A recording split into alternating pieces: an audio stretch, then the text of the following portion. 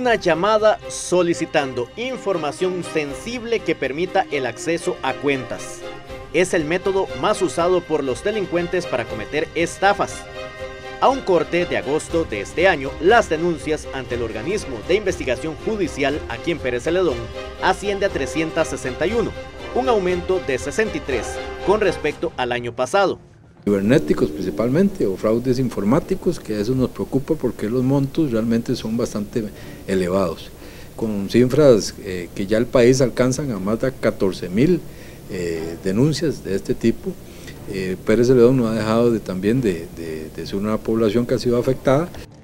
El cliente bancario es la víctima más buscada, según las denuncias en el cantón. Aquí, las seis que encabezan las estadísticas. Cliente bancario 248.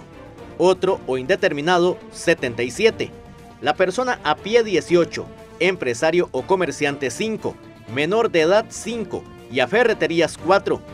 El delincuente cibernético lamentablemente ha, optado por muchas eh, medidas o modalidades eh, en, en el área de tecnología donde puede simular una página de un banco, puede simular eh, la, llamada telefónica de un banco y esto induce a la persona a que eh, caiga en sus redes, ¿verdad? A que sea afectado.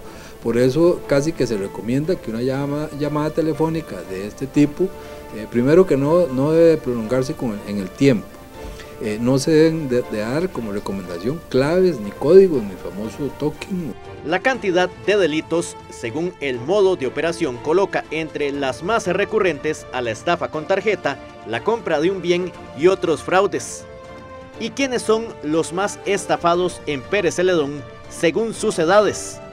Personas de 12 a 17 años 9, de 18 a 29 años 100, de 30 a 39 97 casos, de 40 a 49 años 67 casos, 68 casos a personas que van entre los 50 y 64 años y 65 años en adelante, 25 casos en lo que llevamos de 2022 todos los niveles de todas clases sociales. Eh, tenemos afectaciones en todo tipo de personas, tenemos personas de zonas rurales eh, afectadas, tenemos personas profesionales también afectadas, en, instituciones públicas hay afectación de, personas también.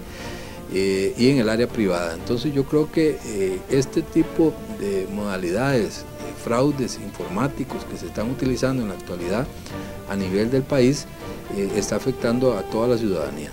Según el OIJ, la mayoría de los casos son mujeres y un 95% de las estafas son sobre costarricenses.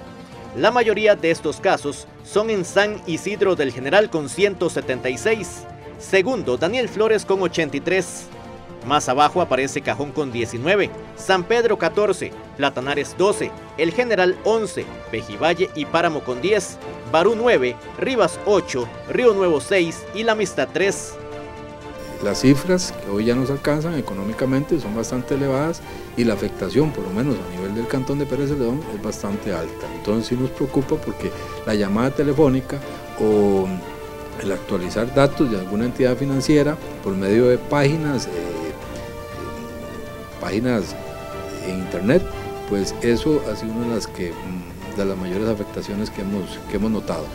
Las autoridades piden mucha precaución porque las estafas siguen latentes en nuestro cantón y a nivel nacional la cifra en 2022 es de 14.056 casos.